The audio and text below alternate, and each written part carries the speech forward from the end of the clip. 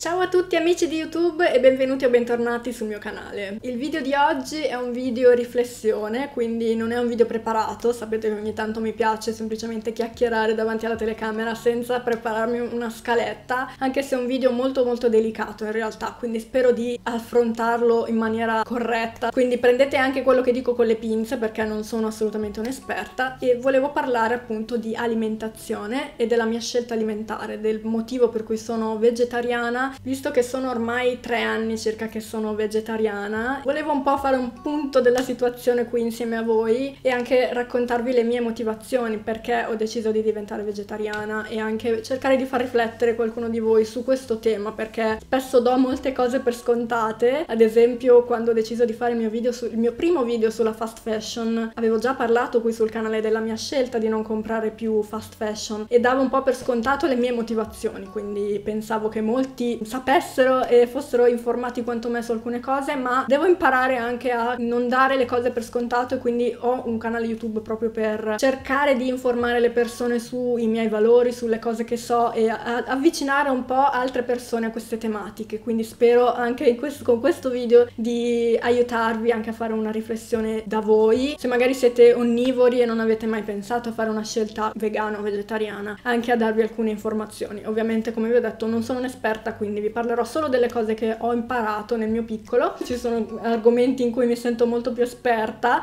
ed è per questo che ho aspettato fare questo video così tanto tempo, nonostante mi fosse stato richiesto. Ho deciso di diventare vegetariana, quindi tre, tre anni fa mi sembra circa, spero di non dire una cavolata, mi sembra che erano tre anni fa, proprio tornata dalle vacanze estive, come una prova, come quasi una challenge che avevamo deciso di fare io e mio marito, di stare un mese senza mangiare carne, perché eravamo molto documentati documentati dopo aver visto molti documentari su Netflix, ce ne sono moltissimi documentari sull'alimentazione, magari vi lascio qualche link giù nell'info box, qualche titolo più che altro giù nell'info box di documentari che ci hanno aiutato a prendere questa scelta e quindi abbiamo deciso di provare e di vedere se ci sentivamo meglio. E finito il primo mese da vegetariani abbiamo deciso, ma quasi naturalmente, senza prendere una decisione proprio conscia, di continuare. Siamo vegetariani da allora, quindi dopo tre anni lo siamo ancora e siamo molto molto molto contenti della nostra scelta perché stiamo meglio, non solo per quanto riguarda la salute, che è comunque un argomento che non vorrei trattare per, per, per non dire cavolate, ci sono molti video fatti molto meglio, ad esempio ci sono due video di cucina botanica fatti molto bene con una nutrizionista vegana che spiega proprio il veganesimo da un punto di vista della salute, quindi magari vi lascio quei due video di cucina botanica giù nell'info box, che è una youtuber che se non conoscete dovete andare a vedere perché la adoro, ci sono tantissime ricette ricette sul suo canale vegane buonissime. Quindi direi che il lato salute diciamo che è un po' um, è quello più trattato, sembra quasi che sia l'unica,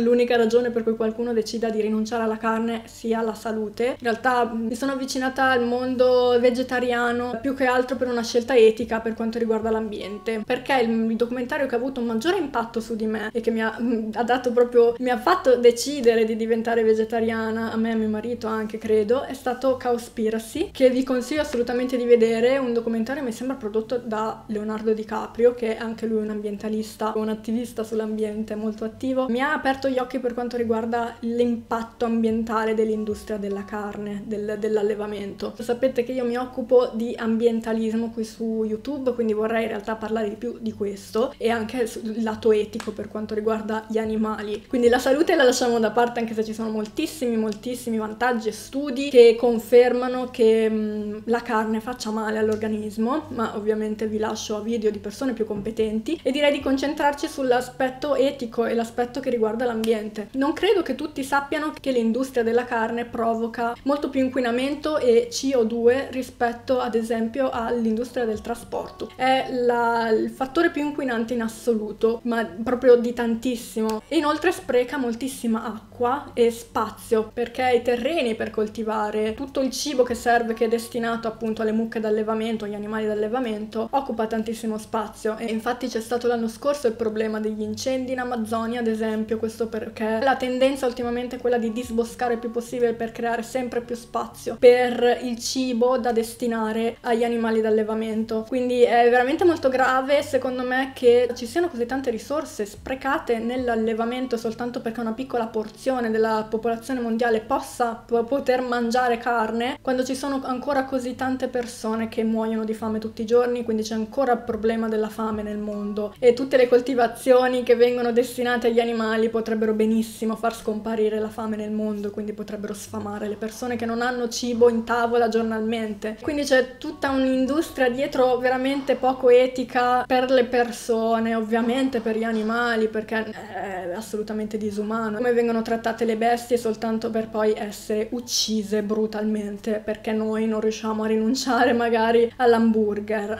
Eh, la trovo una cosa che secondo me non è più consona al 2020, quindi all'epoca in cui viviamo. Eh, non va più bene che noi consumiamo carne. Ci sono alternative, tra l'altro, si stanno facendo tante ricerche nell'ambito alimentare per trovare alternative alla carne che abbiano anche lo stesso sapore. Pensiamo solo al Beyond Burger, quindi anche un onnivoro si può avvicinare al mondo del veganesimo. Abbiamo detto che l'industria della carne è la più inquinante, questo perché gli animali da allevamento producono eh, molto metano e CO2, che è molto superiore a quella emessa ad esempio da macchine e dalle nostre normali emissioni da persone, da cittadini. Quindi è l'industria più inquinante sul pianeta e questo problema non, non viene espresso, cioè non se ne parla proprio, si parla sempre di targhe alterne, di guidare meno, di utilizzare la bicicletta, ma non è quello il reale problema. Il reale problema è l'industria della carne, purtroppo, per quanto riguarda l'ambiente. E so che molti non, non lo sanno, me compresa, non sapevo di questa cosa prima di vedere Cowspiracy, quindi vi consiglio assolutamente quel documentario perché spiega ovviamente molto meglio di quanto possa spiegare io tutta la situazione. C'è anche un grandissimo spreco di acqua per, per le coltivazioni animali e per me è veramente una cosa assurda se ci pensiamo. Poi bisognerebbe anche parlare dello specismo, di come noi consideriamo alcune specie superiori ad altre, pensiamo di essere noi superiori agli animali, ma non solo, anche alcune specie di animali superiori ad altre. Ad esempio un cane è considerato meglio o più valevole di un maiale, quando in realtà il maiale ha un'intelligenza pari a quella di un cane, se non superiore, soffre come tutti gli animali, vuole vivere il più a lungo possibile, tutti gli animali d'allevamento vogliono semplicemente vivere e noi disponiamo dei loro corpi a nostro piacimento. E secondo me è veramente sbagliato. E da quando so queste informazioni mm, non riesco assolutamente a considerare nemmeno di poter mangiare di nuovo carne o pesce perché semplicemente quello che abbiamo perpetuato per anni nei confronti degli animali è semplicemente sbagliato e credo che ogni persona dotata di una coscienza dovrebbe rendersene conto. Ovviamente io non giudico nessuno per le loro scelte alimentari, sono l'ultima persona che lo può fare, considerato che ho passato la maggior parte della mia vita da onnivora e non voglio giudicare nessuno, semplicemente voglio far riflettere un pochino su questi temi e mm, cercare di, di sensibilizzare a mio modo, anche se non sono assolutamente un'esperta e ci sono tantissimi canali che ne parlano molto meglio. E niente, questo era un po' tutto quello che volevo dirvi sulla mia scelta alimentare, questo video è abbastanza breve in realtà perché vi invito in realtà a informarvi bene da canali molto più competenti, mezzi più competenti, documentari, libri eccetera. Volevo solo parlarvi di quello che penso io. Se mi seguite sapete che sono verso una via del veganesimo, non mi ritengo, non mi va di identificarmi come vegana, perché definirsi vegana vuol dire che prendi delle decisioni sempre sempre coerenti con la tua, con la tua scelta, appunto, non solo per quanto riguarda l'alimentazione, ma anche nello stile di vita. Quindi non mi va di attribuirmi un'etichetta del genere perché non sono ancora arrivata lì, anche se al 90% comunque possiamo definire la mia dieta e anche il mio stile di vita vegano. Ci tengo comunque, anche per quanto riguarda l'abbigliamento, a evitare ass- assolutamente ogni sofferenza agli animali. Ne ho, ne ho già parlato anche in diversi video, anche nel video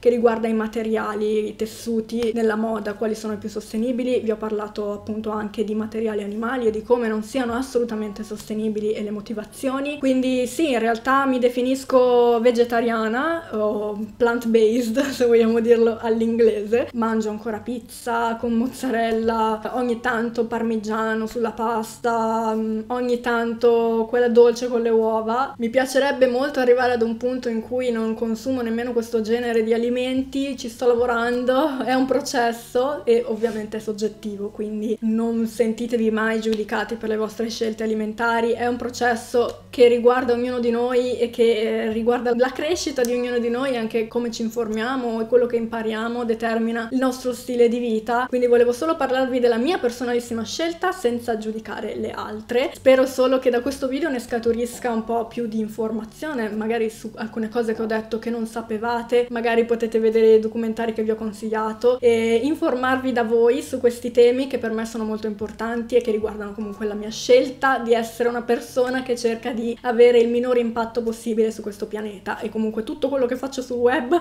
eh, fa parte di questo genere di attivismo che io considero un attivismo online, di condividere questo tipo di valori con voi e quindi cercare nel mio piccolo di contribuire a cambiare il mondo, quindi volevo assolutamente parlare anche di questo tema, non ne parlo molto di alimentazione, mi piacerebbe fare altri what I eat in a week o in a day, insomma, credo che arriveranno perché sono divertenti da girare e quindi fare vedere un po' anche quello che mangio, ma non, non è un canale incentrato sull'alimentazione, lo sapete, quindi è un video un pochino così, giusto per riflettere un attimo su questi temi. Spero che abbiate apprezzato, fatemi sapere le vostre opinioni su questo giù nei commenti. Grazie mille per aver visto anche questo video, mi raccomando iscrivetevi se non siete ancora iscritti e noi ci vediamo al prossimo, ciao!